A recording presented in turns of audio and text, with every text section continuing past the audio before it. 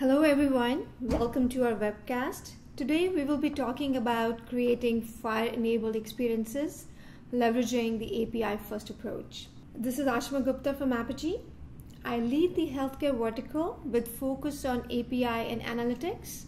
In this role, I have a privilege to closely work with our marquee clients, including industry leading payers, providers, and pharmas on their digital strategies and in identifying transformative opportunities, FHIR being one of them.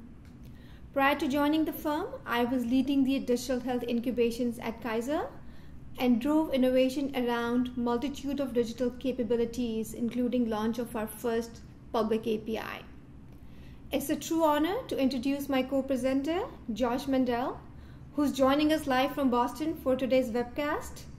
Josh is the brains behind the Smart on FHIR initiative and is also the lead architect for Smart Project, which is a four-year collaboration between Harvard Medical School and Office of the National Coordinator for Health IT.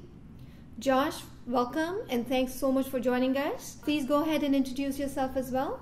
Uh, well, thanks a lot. This is Josh Mandel. I'm on the research faculty at Boston Children's Hospital, uh, Harvard Medical School, and I've been working for the last uh, just about five years as the architect on the Smart Platforms project, and excited to talk to everyone today about smart and FHIR and interoperability in general. Thank you, Josh. Before we get started, a couple of housekeeping items. All the videos, including today's webcast, will be uploaded to YouTube uh, Apigee's channel, and all the slides that we will cover here today will also be uploaded on slideshare.net slash apigee. So with that, a quick run through the agenda. We would begin with a short overview of the core problem that we are trying to solve with FHIR. We will then have Josh share with us the work that Smart on FHIR has been trailblazing for a number of years.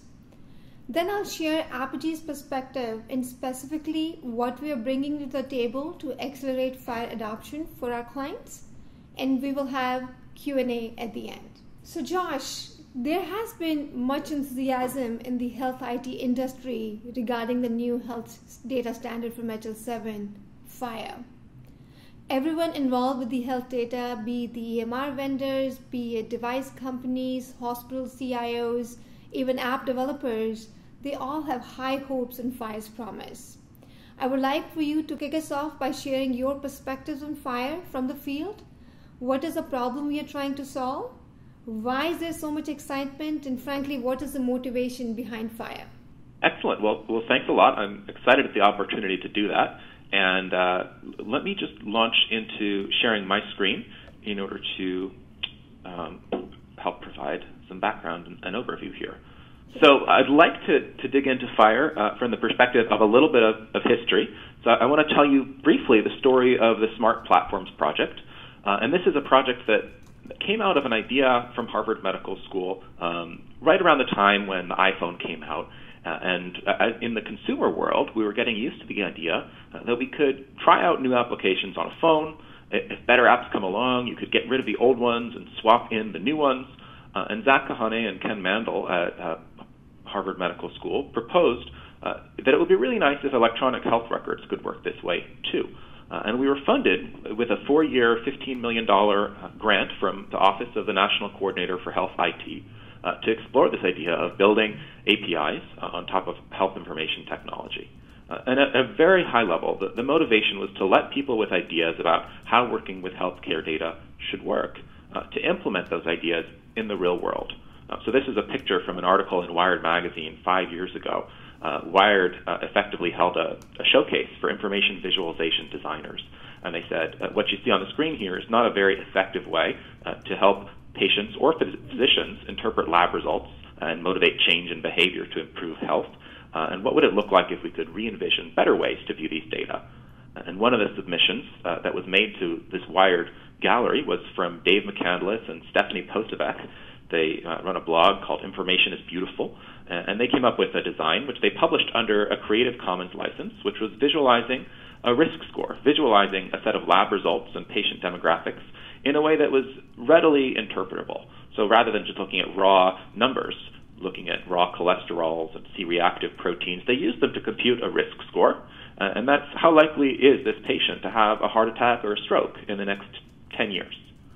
Uh, and they published this image under a Creative Commons license uh, for non-commercial use. So we were able to take it and, and we said, well, this is a great idea, but wouldn't it be better if instead of just publishing a picture, if developers had a way to publish applications so that we could share our ideas about how to transform healthcare, not at the level of journal articles, which are important, or pictures, which are motivational, but applications, which could be used directly in the field. Um, and so we took this app, uh, this image, and turned it into an app using a set of APIs that we defined over time. Um, and you could see we, we basically did a pixel for pixel reproduction of the image from Wired magazine, uh, and then added just a couple interactive elements. So you could start to ask the question if this is somebody with high blood pressure who's smoking, uh, what would be the effect if you quit smoking? You could cut your risk of having a heart attack or a stroke. Uh, if you get your blood pressure under control and you quit smoking, you cut that risk almost in half. Uh, so that becomes suddenly not just a static image in the magazine, but a conversational tool. And there's thousands of ideas like this for how we could make better use and better sense of the data in our healthcare systems. And so, from Smart Platform's perspective, the goal was to try to say, how can we design an API to let these apps plug into a diverse number of different healthcare IT systems? So the last time I, I surveyed this space was a few months ago, and there were over just over a thousand uh, certified EHRs uh, that were certified um, for uh, the 2014 certification criteria to do a patient-facing function called view and download and transmit. So it's a thousand different systems that were certified to share data with patients. Uh, but they all work a little differently. They generally have a web-based portal that a patient signs into, and then they all have their own way of laying out information uh, and navigating through your healthcare data. Um, and very few of them offer automated interfaces that let applications plug in. So the goal here it was to say, what would it take in order to run one application across many or most of those systems? And effectively, when we boil it down, these applications need access to clinical data. That's the number one most important thing, without which uh, they just can't get started. Uh, but they also need to be able to get authorized to access those data in a consistent way. They need to know who the end user is. How do you authenticate uh, the person sitting in front of the screen? And they need some way to integrate with the user experience of the rest of the system. So the Smart Platforms project was effectively about trying to select standards and design a specification for all four of those uh, bins, client, clinical data, authorization, authentication, and the user experience around those things. Uh, and SMART is an acronym. It stands for Substitutable Medical Applications and Reusable Technology. And I just want to describe very briefly this notion of substitutability.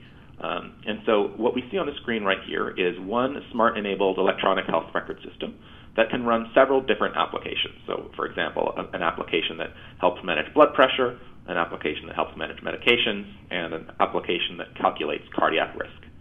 And so, from the perspective of the electronic health record and the users of that system, Substitutability means choice. It means you can try out a different medication manager. Uh, if a better one comes along, you can get rid of your old one and swap in a new one. So for, for the EHR and the users and, and patients, substitutability means choice. But if we flip this picture on its head for, for app developers, if you're building one of these apps, substitutability means reuse because you can plug this app into any system that supports the appropriate open APIs. I should emphasize that all the work we've been doing, we call this an open platform because it's based on specifications that are openly available. Everything that we publish um, is open source uh, and available for implementers to take and use as they see fit.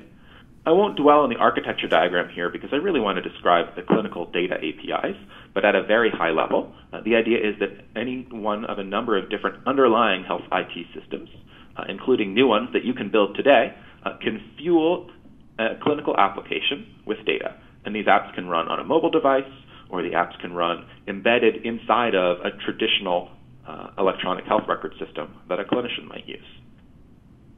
I'll say just very briefly on the security side that we use open standards. We use OAuth 2 for access delegation. And the basic problem there is we've got an end user uh, who wants to connect two different parties together. The end user wants to authorize an app to access data from a health holder uh, from a health data holder, like a EHR, a hospital, or a clinic. And the goal of OAuth is to help these three parties come together and allow the user to authorize the app to access data in the system.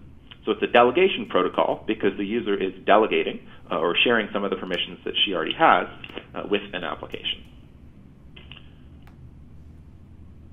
So without saying much more about the security side, although it's an extremely important part of the platform, I want to focus today on the healthcare data standards. And the question is, what does it take? What do we really need in order to open up access to the data inside of a healthcare system uh, for these substitutable apps to plug in? Uh, and our, from our perspective on the Smart Platforms project, number one, we wanted a set of standards that were open, that developers could download the documentation for, uh, could share it with anyone they wanted, uh, and if they needed to, they could modify and extend to suit their needs. Um, and so FHIR provides an open set of data models that are released under a Creative Commons Zero license. It's effectively public domain. Uh, and in addition to these data models, FHIR also provides a REST API, a standard way to talk to a server and request data from that server. And I'll dig in with a few examples to give you a quick sense of what that looks like. Um, and then I'll give you a live tour of the smart uh, of the FHIR specification. I'll show you a little bit um, of what it looks like, so you can know how to get started working with FHIR. So we got involved uh, in FHIR about two years ago uh, when we realized that this was a set of open APIs that really suited our needs for an app platform very well. Uh, and since then, I've become more deeply involved with the standards development community, and I'm now a member of the, the FHIR management group uh, and the FHIR core team. So I've been uh, pretty closely involved over the last 18 months or so. High level picture what is FHIR? Uh, for me, FHIR is a set of uh, data models, which FHIR calls resources. And today, in the we're right now between the first draft publication and the second draft publication of the spec. There's about 100 resources that are defined, and they broadly fit within three or four buckets. Um, the biggest bucket today is clinical resources, and these are things like medication prescriptions um, or vital signs, for example, which are used, uh, which use an observation resource. Uh, things like um, lab results, which also use an observation resource. Um, these basic clinical resources represent the structured data that you might find in your health record. In addition to the clinical resources, there are administrative resources that keep track of things like patients, who are the providers in a healthcare system, what are the different locations at which a hospital uh, might have clinics? How are those locations related to each other? Uh, th- those are what FHIR calls administrative resources. And then there's a set of infrastructure resources, which defines um, low level details about how to ship data around back and forth over the wire. Uh, in the second draft of FHIR, there's also one more category of resources, which is financials, covering things like eligibility and claims. And those are some of the, the newest pieces of the FHIR data models to emerge. So in addition to these resources, each resource is built up uh, of a set of building blocks, which FHIR calls data types. So if I want to talk about a patient, I say that patient uh, has a name. Well, how do I represent that name? How is it structured? FHIR has something called a human name, uh, and that is a data type that defines individual fields inside of it. And I'll show you what that looks like. Um, if I want to describe a date or a time or a range of dates, FHIR has data types that cover those kinds of elements as well. Uh, and FHIR also has a set of what you might call modeling tools built in. Um, so the FHIR resources are defined in terms of FHIR itself. So the, the specification allows you to define these resources um, and then use the resources once you've defined them. So that's very abstract. What I'd like to do is dig in and show you what this stuff looks like uh, over the wire, and I'll start with a couple of examples. Um, and I'll show you what it looks like to query for data. So let's say you're writing a FHIR application, and um, somehow, from somewhere, you got the ID of a patient, and then you want to fetch details about that patient once you've got the ID. Um, so every resource in FHIR has a URL, and the URL uh, is relative to the base path of the FHIR server. So you know the URL of your FHIR server, and you know you want to find patient 1032702. Well, what does that look like? I'm just going to click on the link in my example here, and it'll take me to uh, a web page in my browser, which is the base URL of a server that we host at Smart Platforms. It's uh, an open server, meaning anyone can visit this server and browse around uh, and read data from it or write data to it. Um, and all you have to do is go to the URL of this patient, and what you get uh, is either a JSON or an XML payload representing the structured data for this patient. Uh, and I won't go into the details, but I'll say, for example, we could see this patient has um, a name. And if you dig into the name, you can see there's a given name, which is uh, Amy V, and a family name, which is Shaw. Uh, and even if you've never seen a, piece of FHIR data before, you have a pretty good idea of what these fields mean. Uh, they're named in an intuitive way. It's designed to be implementer friendly. It's designed to work the same way as lots of other contemporary web APIs work. Um, the, the goal here is not to do things in a special way for healthcare uh, when we can do them in a way that's worked very, very well in the broad consumer market. Um, so, so here's a, another example of a field here. This is a date which represents the patient's birth date. Uh, again, the fields are named in a pretty intuitive way. Uh, and my hope is that this isn't too surprising for folks who, uh, who have worked with REST APIs before.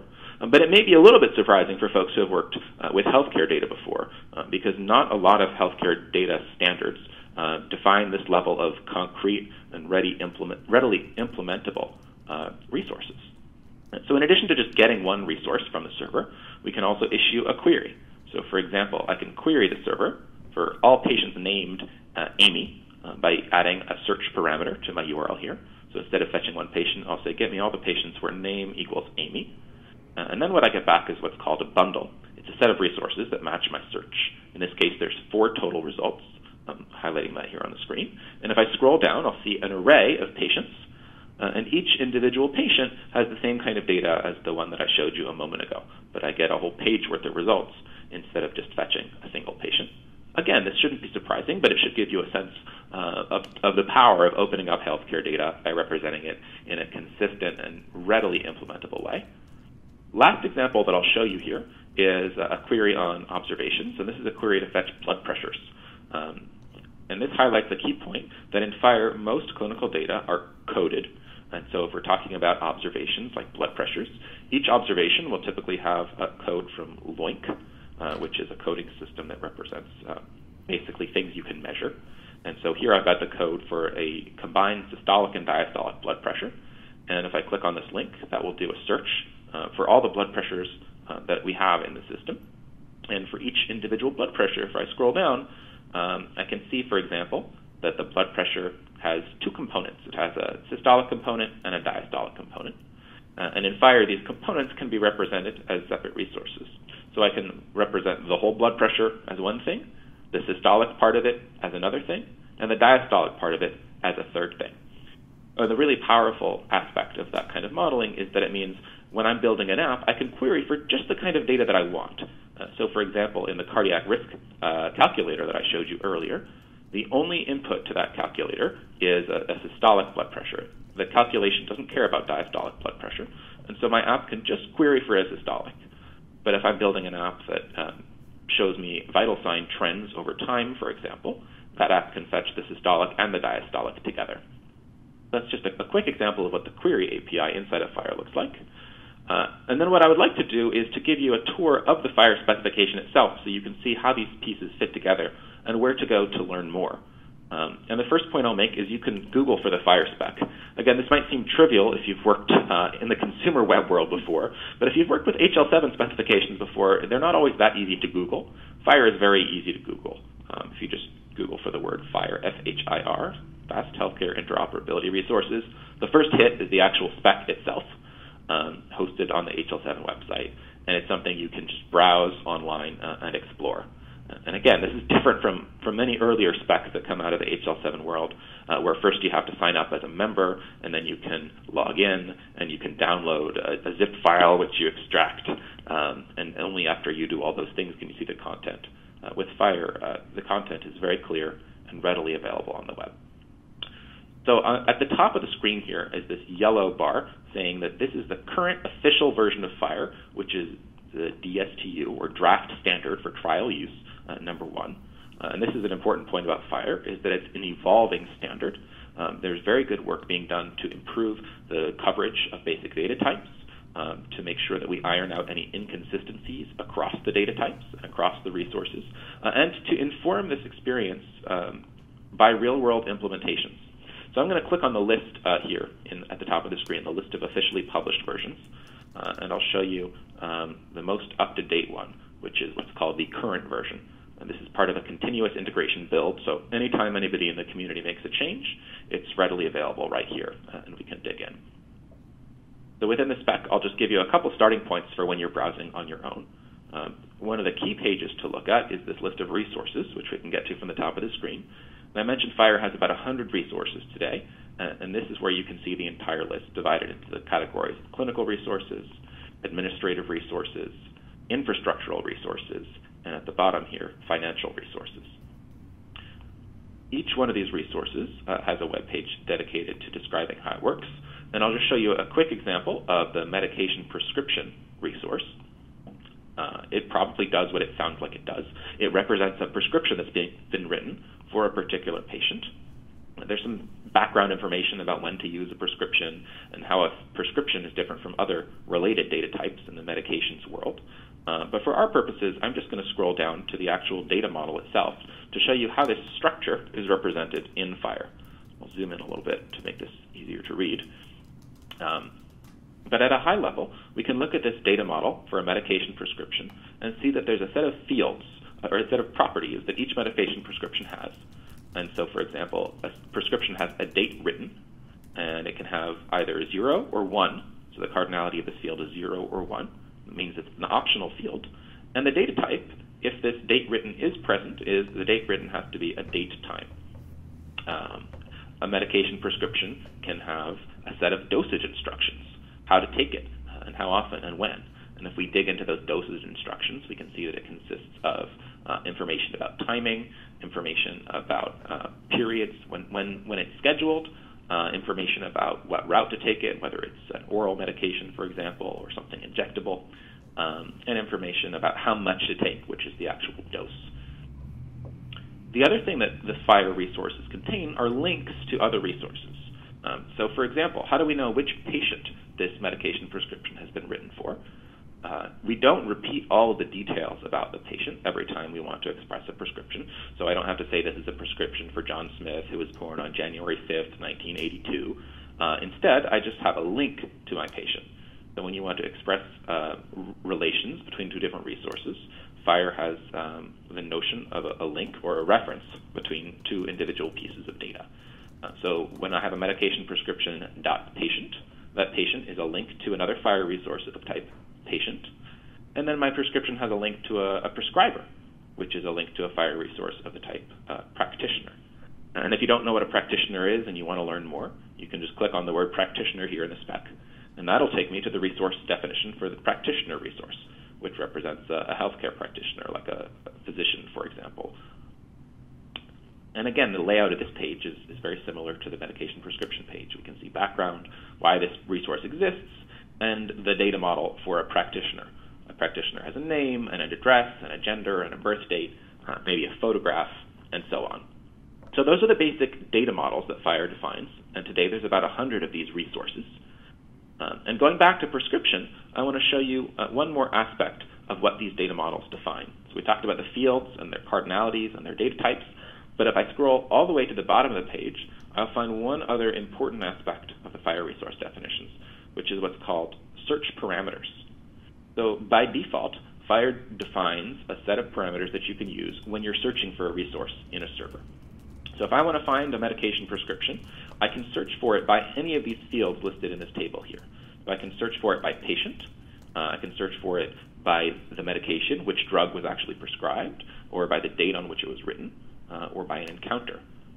And so if I know uh, some combination of those things, for example, I want to find all prescriptions about John Smith um, that were written this year, I can use a combination of two search parameters, uh, one for patient and one for the date on which the prescription was written. And with those two parameters, I can construct a query uh, that any FHIR server uh, knows how to support. So a FHIR server supports resources, and then it also supports these search parameters which can be used in a standard way along with the FHIR REST API uh, to make queries or, or searches for these resources and return them consistently. That's a quick tour of the FHIR specification. I, I, hope you get a sense of what the parts are and how they fit together. I definitely recommend that you browse the specification and also check out uh, some of the open reference implementations. Side by side, reading the spec and exploring an actual server that's openly available on the web is probably the best way to learn what's going on here.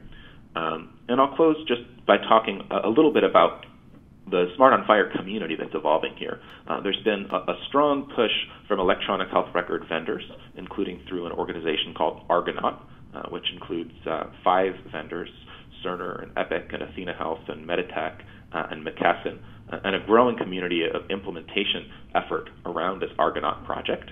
And so Argonaut is using uh, FHIR and it's using the smart authorization protocols under the hood. Um, we see a community developing of healthcare provider organizations, including Hospital Corporation of America, including a group called the Healthcare Services Platform Coalition, um, including Intermountain Healthcare. We see participation from data networks like SureScripts, from some of the content development um, organizations, including British Medical Journal, from some pharmaceutical companies. Uh, and the Smart Platforms Project is supported by an advisory committee that includes many of these organizations that have contributed to the subsequent development uh, of our platform. Um, so that's a, a quick overview. Uh, happy to turn it back over to Ashima, and I will stick around, of course, so we could do some questions. Thank you so much, Josh. Thanks for sharing such an in depth and informative uh, presentation on FHIR. Listening to you, Josh, passionately make the case for FHIR, I'm even more convinced that the, this is our moment to seize in healthcare in terms of interoperability with FHIR. So let me shift gears in terms of Apigee's healthcare vision and how we are involved with Project Argonaut and FHIR work. So as Josh talked about the substitutability of the app and building the consumer-driven, personalized uh, app ecosystem, there is a strong belief that understanding the needs of our consumers, their behavior, their lifestyle, their context, and then predicting and coordinating the most effective intervention or right intervention at the right time will lead to better health outcomes. And that requires a solid foundation to not only connect but also to collect and curate the data across different data silos. In the post FHIR enabled world, there will be multiple of substitutable apps that will help consumers make better health decisions. And those apps need to connect to the EMRs, and that's where FHIR comes in, that's where Project Argonaut comes in. We also believe that in addition to the apps, it's also about creating a connected experience which is empowering from the consumer standpoint. And at Apigee, we are looking into innovating on top of our implementation and bringing the same foundation technology that power the internet, aka APIs and REST protocol to digitally connect the world of healthcare. So, how do you do that? So, uh, this is a very typical health IT landscape. Um, it is overly complex and rightfully so.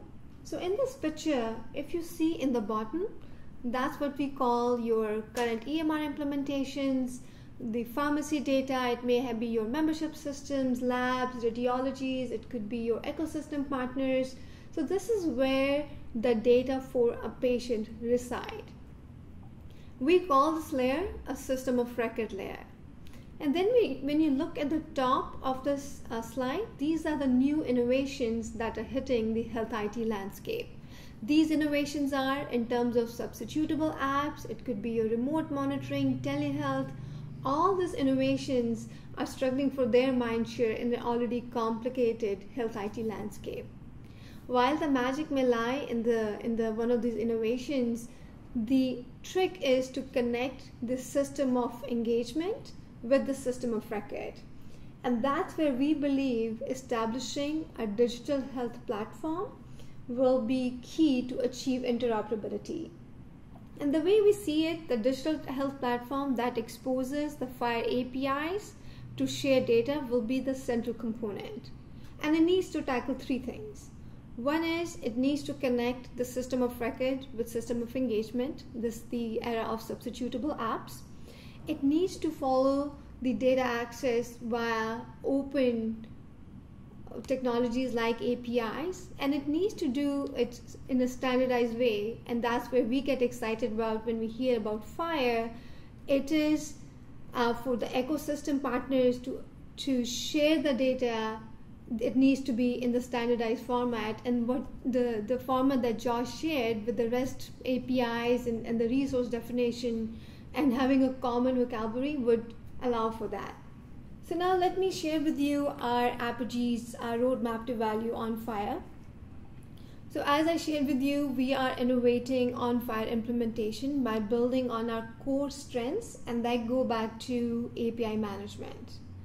Uh, this is the same API management technology that we are powering for different verticals like retail, telco, financial, and billions of transactions run through this product. Uh, and I will now share with you our offering in this space at the heart of it, it is the Apigee's core product, which is API management, and it talks about and it uh, the the stuff that Josh mentions about security, OAuth, uh, token management, security, all that is inbuilt and part of the core product. I call this our onion slide or layered slide, and that's where which is our core and now we are innovating on top of that. The second layer is the FHIR specific extensions. These extensions are to enable acceleration on FHIR. So think of them as FHIR ready api some FHIR specific analytics that will help accelerate if you choose to go into FHIR journey and then the third layer is around customized assets we realize that each of the implementation in our uh, in the health IT landscape could slide could be slightly different.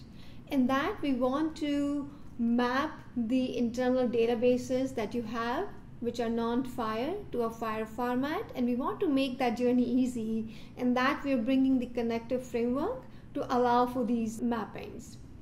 And finally, as Josh shared, the FHIR standard is going under it's, it's evolving and there's new standard that will be coming in and as such we want to be connected with thought leaders like josh mandel like initiatives like smart to learn and get inspiration from and also do strategic investments in terms of our commitment on project argonaut uh, sandbox and our early adopter program that I'll share in, in a bit. In terms of our roadmap, this is our initial roadmap with FHIR being an evolving standard we are creating a quarterly cadence around that. The goal here is for our clients to get up to speed with FHIR implementation quickly with minimum implementation time, cost, and risk. So, this approach, um, we, you see here that there are three swim lanes. The top is the FHIR technology assets. These are the assets that we're building on top of our core APIs in terms of Northbound APIs, creating FHIR Ready APIs. Uh, it will include the developer portal. We want it to be easy for your developers to connect uh, to smart documentation and access those APIs. And uh, the, the key component here also is a consent management framework. As these substitutable apps will become a mainstream, there will be a need for consumer to give the, their consent to access for an app to access their data on their behalf. And that's the consent management framework that we have built and deployed in our telco vertical and we are now planning to bring that into healthcare uh, for FHIR adoption Similarly, the second swim lane talks about the FHIR connectors and transformations as I uh, shared with you earlier. This is regarding creating the FHIR to non-FHIR mapping and more importantly here we are bringing the connector framework which is a declarative mapping to map any non-FHIR resources to FHIR and vice versa. Uh, we are also when we I'm working with different clients we are also getting requests to actually store the FHIR objects and and persist them in in their JSON format in the data store in that regard, they were looking into a non-SQL type of way to store the FHIR objects. And that's where this second swim lane talks about. The third swim lane is around Sandbox. This is a strategic investment around creating a publicly available commercial grade sandbox, uh, which will give the early access to the, these FHIR technology assets that I just shared with you all, and more to uh, come on Sandbox in our um, Next slide. So the sandbox opportunity is where we will establish a commercial grade FHIR implementation with the assets that I just shared with you on the roadmap. And we are actively recruiting our marquee clients, uh, the, the clients that we already have relationships with. Uh, we are very positive that this will help reduce the learning curve in terms of FHIR adoption It will help with time to market because if that's your API management platform in production, getting an early access through a publicly available sandbox will speed up the process. And also, you will learn from the other implementation from other clients like yourselves in, in, the, in the sandbox environment. The last but not the least, actually, is a very important point. Uh, we have by virtue of being the API management and doing that a number of years and being in present in different industries like telco, retail, and financial, we have a very robust access to developer services program. And as such, we have 100,000 developers who know of Apigee platform and are innovating on top of it. We are through the sandbox. We we are positive in recruiting some of these talent uh, and developers to the healthcare sector so that the innovations that Josh mentioned, the substitutability of the apps, they those experiences can be built. So, uh, how do you get early access? Um, the next steps here are you can sign up for the sandbox. We are creating an interest list and recruiting um, our clients there. We are also creating and kicking off an Apigee Healthcare Advisory Council Aneesh Chopra, who's the advisor to the firm, uh, will be chair for this council. The idea here is to learn from the real life implementation and, and advise and inform our roadmap and also learn from each other. The, the last point here is around initiating discovery. You can reach us, reach to us and see where in the FHIR journey I shared the layered architecture do you want us to help you innovate on. It could be as simple as creating those northbound APIs, it could be customizable assets, it could be uh, through the sandbox. So all of these three areas are open for our clients to um, get access to our FHIR offering. The idea here is to get up to speed with the FHIR standards quickly with minimal implementation time, cost, and risk. And in doing that, you can play a pivotal role in validation of this new standard and technology component as it is getting built. Kind of giving you a say in how the final standard will be rolled out. So that's all I had. Uh, as I summarize the webcast today, we learned from Josh. Thank you for an excellent in depth presentation on FHIR and why it is important, why there's so much energy behind it uh, we also learned about Smart on FHIR initiative, which is uh, a reference implementation from the open source community. We are also, I also shared Apigee's commitment in accelerating fire implementation for our clients. So with that, I would uh, like uh, for us to open it up for question and answers. So our first question is, as independent app developers, will these APIs be available to us without having a relationship with the healthcare vendors? Josh, do you want to take that? So I, I can, yeah. sure, I'll, I'll, at least provide uh, one perspective. So our, our, goal from the Smart Platforms project has been to provide infrastructure by defining these APIs. We host a gallery where anyone can uh, install an app and, and, run it against some of the sample data that we host, and that's at, at gallery.smarthealthit.org. Uh, when it comes to how these applications will be deployed within provider organizations, uh, there's a few ways that this can go. Uh, and our goal has been not to try to specify, or at least to over-specify that, because I think there are a few few ways that we could succeed here. And so one that we see happening already today is uh, uptake from electronic health record vendors. So, for example, Cerner has said uh, that they plan to support Smart on FHIR in their 2015 release. Uh, and Epic has said that they're going to have the, the first FHIR services available in their 2015 release as well. Uh, so to the extent that these vendors are, are, able to bake support for these APIs right into the electronic health record project, product, uh, I think that they'll start to offer stores that work on their specific system. Uh, and they may decide to establish channels by which uh, they actually act as a middleman um, and make applications available to clinical settings that way. Uh, or they may simply offer a way for application developers to talk with individual hospitals who care about that functionality. I think those are both possibilities, and in the early days, we'll probably see both.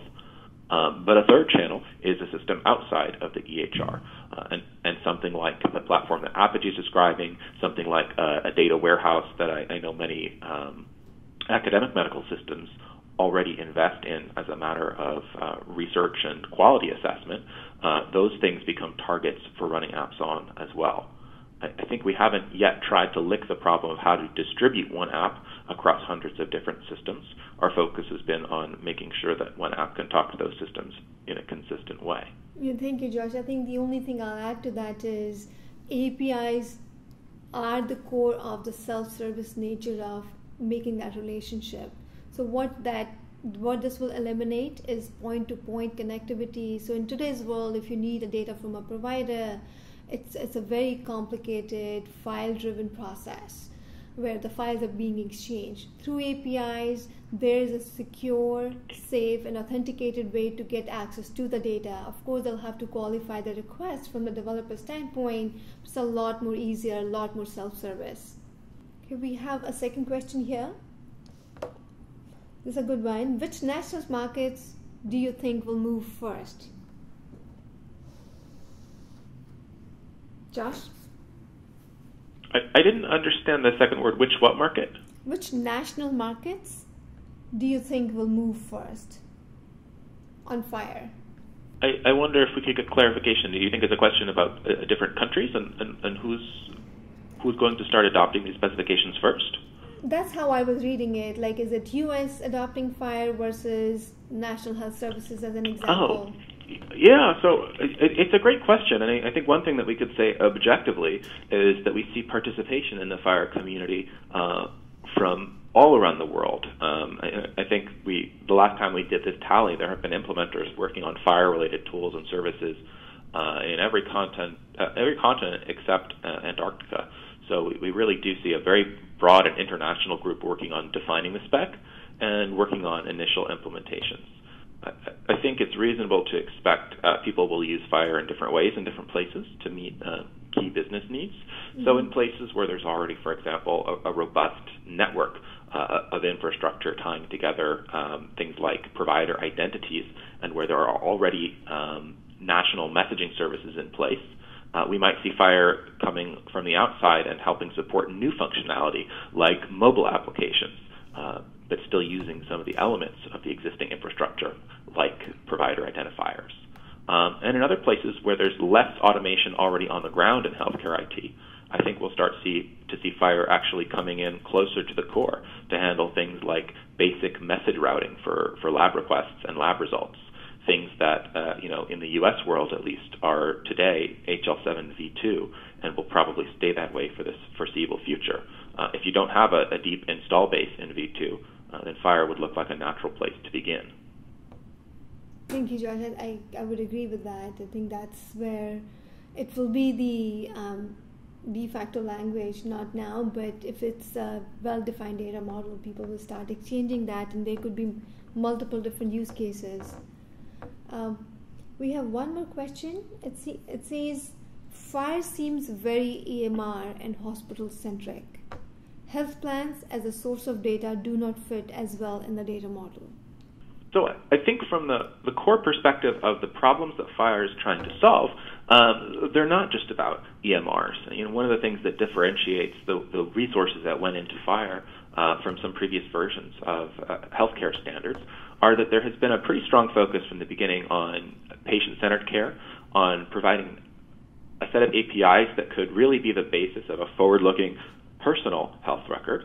Um, but I think it's fair to say that FHIR is concentrated on solving the kinds of problems that aren't uh, that aren't the purview of other domains. So there's a focus on clinical data models uh, because we can't we can't get clinical domain, domain models uh, from anywhere else effectively the FHIR initiative set out to define those because there was a need for them. Uh, you know, there's been less effort, or there hasn't been effort within the FHIR community, I should say, to define things like um, identity management, uh, because it's pretty well recognized that there are existing external standards, like uh, like OpenID Connect, for example, which we use in SMART uh, for conveying uh, identity information between parties. So Fire FHIR has tried to focus on the problems that are specifically related to the healthcare domain. Um, but they do include resources for clinical data, uh, as well as an emerging set of resources for financial claims and, and eligibility and coverage data, uh, things like contracting and consent. Uh, and the set of resources is uh, growing and it's informed by community interest.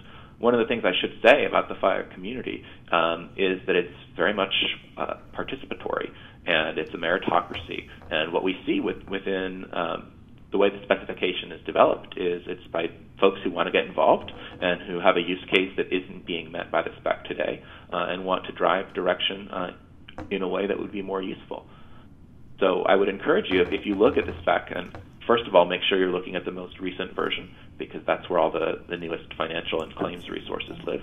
Uh, but if you look at it and you see a gap, uh, share that back with the community. There's a few key channels through which you can share it. Um, at the bottom of every page in the specification, there's a feedback link uh, where you can have a, a conversation um, through web forums, where you can submit an item to FHIR's bug tracker, uh, or there's a FHIR email list and Skype channel, which are quite active for this kind of discussion.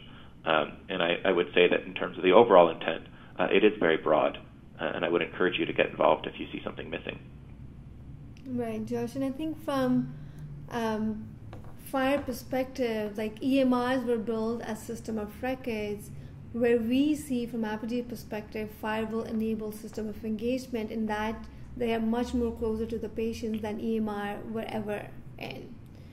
So in that, I have a short story to share here. When we implemented at Kaiser, so one of the comment I got once was when the patient walks in, they see back of the screen of what doctor is typing from the EMR.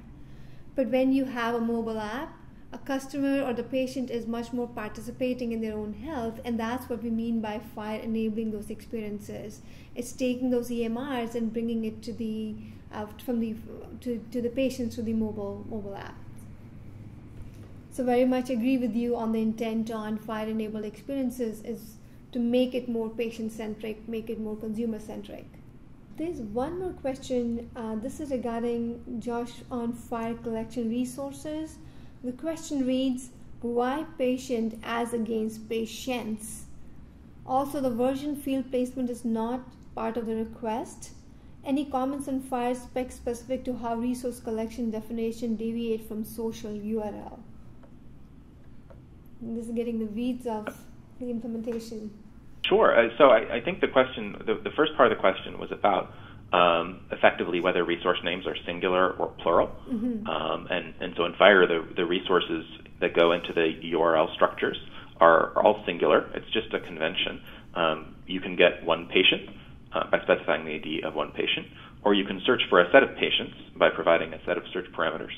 Uh, but in but in each case, you're going to a URL that has uh, the word patient singular in it. Um, and I think the, the motivation there was just to, to provide one consistent URL at which the data about patients lives. Um, if you're get, if you're getting just one patient or multiple, to have one one convenient way to do it. Um, ultimately, it's a bit of an arbitrary decision whether you want to make them plural or singular, as long as you do it the same way across the board. Um, and so the the decision here was, was for singular URLs. Uh, will you remind me the second part of the question? The second part of the question is any comments on FHIR spec specific to how resource collection definition deviate from social URL? Without a little bit more flavor, I'm not quite sure how to answer it. I, I, if it's really just about sort of singulars versus plurals, I would say it, it, doesn't seem to make too much difference as long as you have one fixed convention, and, and so FHIR picked one. Yeah, got it but I, I, may be missing uh, some of the subtlety there, and, and, please feel free to reach out. Um, you know, you can email me afterwards, and I'll, I'll be happy to dig in if I've missed a point. There's one more question. It says, "Do you see the FHIR API ecosystem make it easier for the patients to understand and control their privacy, while pushing the EMR vendors from hiding from innovation in the name of privacy?" Well, I think one of the the great things about providing APIs to data that patients can control um, is that it gives it gives patients or healthcare consumers uh, a way to select the which parts of data they want to share uh, and what tools they want to share it with. Uh, I would say inherently, FHIR can be used in a number of different settings. So it's possible for a hospital to make a FHIR deployment that is accessible to patients, uh, where patients can uh, bring their own apps to the table. It's also possible to have a FHIR deployment uh, where patients can use it, but only with a few apps that the provider organization approves of. Um, and it's also possible to have a FHIR implementation where just the healthcare providers get to use it, and it's not accessible to patients. Uh, from my personal perspective, you know, I, have been pushing hard on the policy front uh, to make sure that patients have access to just the same data and APIs that providers have. I think that, that patients and providers both benefit from the same data types. Sometimes they may want to use different apps uh, to interpret the information at different levels, but ultimately, the data that fuel both sets of decisions should be the same. I think there's a, a strong principle of parity there. Uh, and I've been pushing hard, um, in the US at least, to see us move towards an ecosystem where patients can bring the apps that they choose to the table uh, rather than having providers make the decision about what apps you can use to access your own healthcare data. But it's still very early days. Uh, we haven't seen a lot of organizations uh, jumping in with both feet towards that degree of um, radical patient access. And I think it's natural to expect uh, that we'll see organizations dip their toes in, uh, first by exposing data to providers within their own firewalls, then by exposing data to specifically chosen patient apps, and getting comfortable with the technology stack and with the security properties of the stack uh, before they're willing to really open things up and uh, let patients bring their own apps to the table. Yeah, thank you, Josh. Uh, there's one uh, last question, and that's how do we participate in the Healthcare Advisory Council from Apigee? The answer here is we are kicking it off at I Love APIs conference, which is from October 12th and 14th. As I shared with you, Aneesh Chopra, who's the executive advisor to the firm, will be sharing, uh, will be chairing the uh, Healthcare Advisory Council, and we are creating an interest list now. So please feel free to send us the email for if you're wanting to participate in the sandbox or during the I Love APIs conference, which will be our kickoff for the Healthcare Advisory Council if you want to be a member member for that. All right, I think with that we will uh, wrap our webcast today. Thank you, Josh, for uh, incredibly in-depth and in- informational session. Thank you, everyone. Thank you very much.